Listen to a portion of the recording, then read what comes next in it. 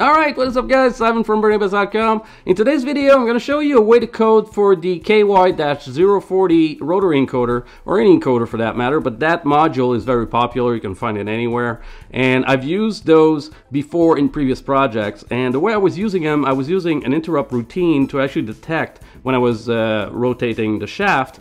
And the problem with that is that these are cheap, but they do bounce a lot, so they would enter the interrupt routine uh, much too frequently, and they would jump a lot when I was uh, trying to rotate.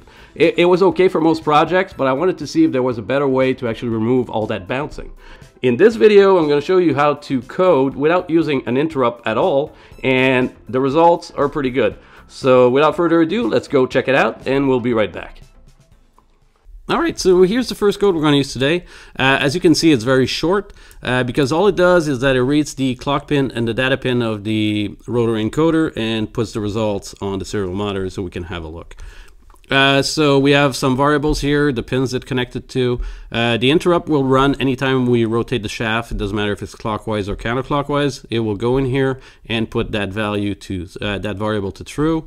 Uh, then we have the main setup, will begin at a high baud rate so we don't miss anything. And we attach the interrupt 0, which is always connected to pin 2 on uh, the Uno or Nano, uh, which is connected to the clock pin of the rotary encoder. And anytime it changes, it will run this uh, interrupt right here. Uh, then the main loop, if the turn is detected, we put it to false because we don't want to repeat over and over again and then we print the results of the uh, clock pin and the data pin and a little delay of 5 just to debounce. It will not work very well, but it will help us. So there you go, that's the first uh, piece of code we're going to use, so let's uh, upload that and test it out. Alright, so I loaded the code on the Arduino right here and I'm ready to go. Um, I will open up the serial monitor so you guys can see what's happening. Uh, so I'm going to start by moving one notch at a time clockwise, so let's see what happens when I do that. That's one notch. I get 0101 and one more and I get 1010. Uh, you can see it doubled there because it's reading it very fast and the code we just saw doesn't have any debouncing in it. So let me do one more and it goes back to 01 and I get a 00. That one is a bounce. So if I do it again, I get 1010, one more, 0101, and one last one, 1010. So we can see that when we rotate clockwise, we get 0, 1, 1, 0, 0, 1. So these are the values we're going to keep track of. Now I'm going to go counterclockwise. So 1, I get 0 zeros, one more, I get 1, 1, and one last one, back to 0, 0. So when we go counterclockwise, the values are 1, 1, 0, 0, 1, 1. So with those values, now we can code for that and make sure that when we receive a value, when we rotate, we can know if that's a valid one. And we'll also need to know that if, let's say we're going counterclockwise and I stop here, we're at 1, 1. So if I go now reverse direction, I get 0, 1. So I need to keep track of that 1, 2. And if I go clockwise, I'm at 0, 1. And I go counterclockwise, I go to 1, 1. So with all these values, we can build a table and then check for that. So now let's go see the main code and see how we're going to use those values.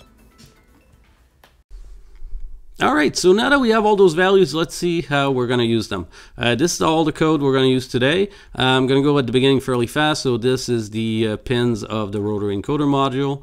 Uh, these two variables are used to do the millis uh, debounce method, I, I did a video on that. You can check that here if you want more information. Uh, two variables here to hold the state of the rotary encoder and a counter variable to um, keep track of the counter. Now this here is library is used for the LED matrix. Uh, this is a, its connection. And uh, then we get to the main setup. So we have previous clock is equal to digital read of the rotary encoder pin clock right now at the startup. So we can do a comparison when we actually rotate it. Do the same thing for the data pin. Uh, we're using the switch pin, the integrated switch on the rotary encoder to reset the counter. So that needs to be an input pull-up.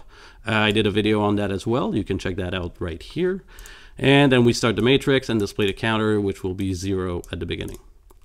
Uh, now we get to the main loop, so we debounce at the beginning. If it's if it's okay, then we check rotary, and that is right down here. So we'll check that right after. This is where we use all those values that we got uh, before. Uh, once it's done, we uh, refresh the previous clock and previous data with a digital read of each pin. And uh, then here we check if the switch on the rotary encoder was pressed. If it was, then we reset the counter to zero. All right, so now here is where we use all those values to debounce the switch. As you can see from the table here that we got, uh, we can know when we rotate uh, clockwise what the next value should be, and as well as when we go counterclockwise. And if we go from counterclockwise to clockwise and clockwise to counterclockwise. So all these if statement actually check for all that. So I'm just going to do the first one. The other ones just check for different uh, occurrences.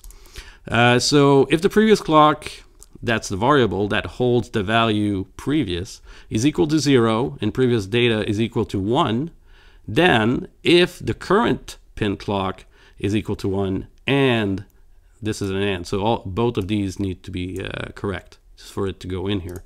Uh, so if uh, the clock pin is equal to one and the data pin is equal to zero, and if we check our table, it makes sense, from 0, 1 goes to 1, 0, that indicates a clockwise rotation, then we increase the timer.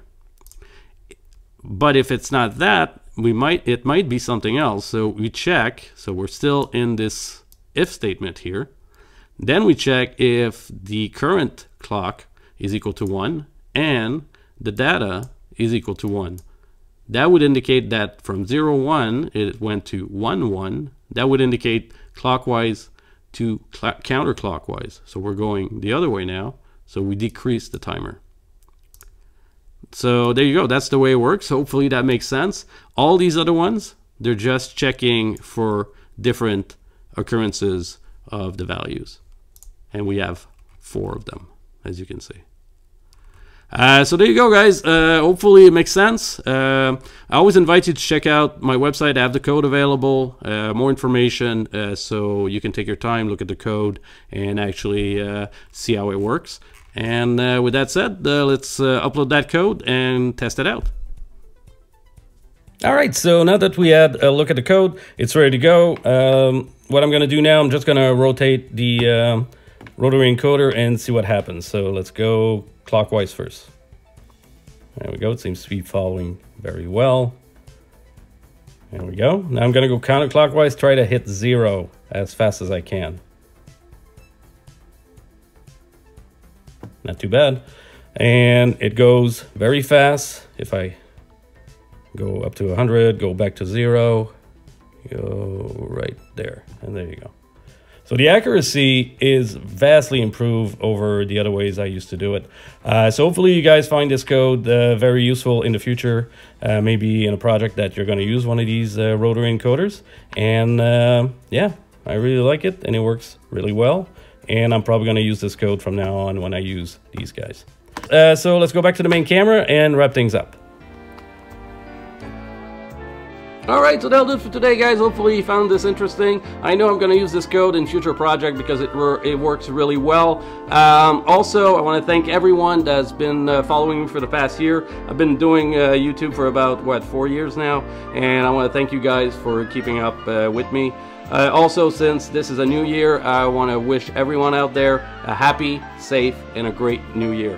So, as always, my name is Ivan, and I hope to catch you guys real soon. Take care.